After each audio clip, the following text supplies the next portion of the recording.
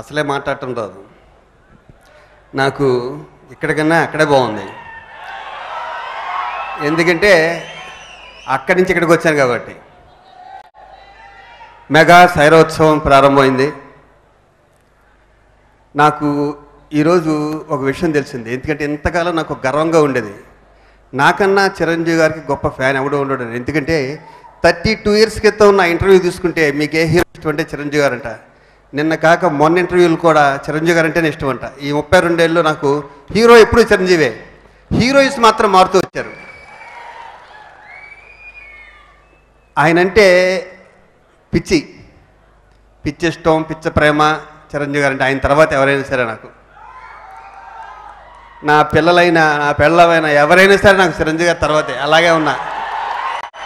ఇది నా గురించి నాకన్నా కూడా మా నాగబాబుకి ఎక్కువ తెలుసు. నాకు ఆయన అంటే అన్నయ్య అంటే ఎంత ఇష్టం అని ఆయన అంటే ఎంత ఇష్టం అంటే ఆ విషయంలో ఆయన కూడా నా విషయంలో నాకు చాలాసార్లు నిరూపించుకున్నారు. మొన్న పేదోళ్ళకి ఏదో సహాయం చేయాలని సైరా షూటింగ్లో బిజీగా ఉండగా చిరంజీవి గారు అన్నయ్య మన అమెరికా వెళ్తే ఒక పెద్ద ఫండ్ వస్తుంది. చాలా మంచి మంచి పనులు చేయొచ్చు అంటే ఇంకొక మొక్క మాట్లాడలేదు. పదర అమెరికా వెళ్దాం ఉంటారు అమెరికా వచ్చారు. అద్భుతమైన ఫండ్ వచ్చింది. అద్భుతంగా ఫంక్షన్ దట్ ఈజ్ చిరంజీవి. ఇంకా ఒక విషయం చెప్పనా?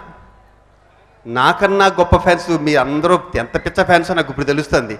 చాలా సంవత్సరాల తర్వాత ఆ చెవి తుప్పు వదిలిపోయింది. ఇంకా నేను గర్వంగా చెప్పగలను. ఇందాక విజయవాడ నుంచి ఒక చిన్న పాప వచ్చిందే. హ్యాడ్స్ ఆఫ్ ఒక బ్లైండ్ అయిన ఒక పాట పాడాడే హ్యాట్సాప్ వాళ్ళ కాలి గోటికి కూడా మేము ఎవరు సరిపోం. ఎందుకంటే అరవింద్ గారు కానీ నాగబాబు గారు కానీ ఇప్పుడు చెప్పండి సత్యనా చెప్పలేదు చిరంజీవి గారు కూడా చెప్పారు నూట యాభై సినిమాల లిస్టు. వాళ్ళు చెప్పారండి ఎంతకన్నా ఏం కావాలండి.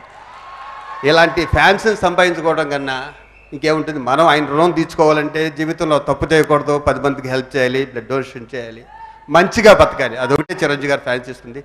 అనయ్య happy birthday thank you love you అన్నయ్య థ్యాంక్ యూ థ్యాంక్ యూ